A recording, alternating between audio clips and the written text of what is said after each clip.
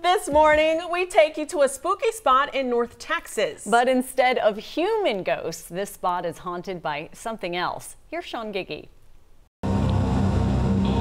The scariest story in Athens begins where this road ends. Yes, this is the bridge where the tales begin. Well, the bridge isn't there anymore, but Elizabeth Perryman remembers when it was. Oh, yeah. Yeah, yeah. Online, some people believe this road is haunted by monkeys. And so the legend began of Monkey Road. A long time ago, the circus was passing through when a wagon tipped over and monkeys escaped into the woods. Some stayed in the woods, and some were caught by a man named Reverend Fuller, and he put them here. These were the monkey cages.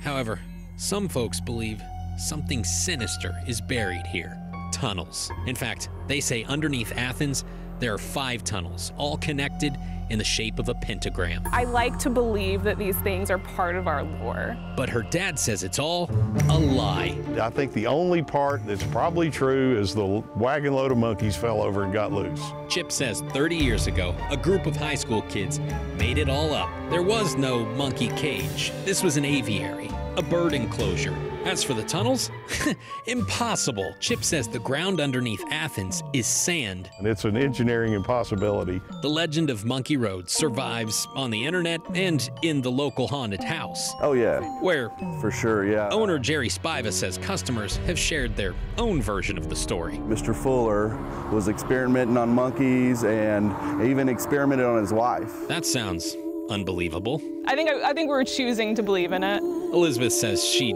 doesn't believe these stories anymore, but that won't stop her from telling them. Honestly, I just think it's good fun. Uh, growing up out here, there's not a lot to do, so you want to believe in something. Proof that sometimes the scariest thing is your imagination. In Athens, I'm Sean Giggy.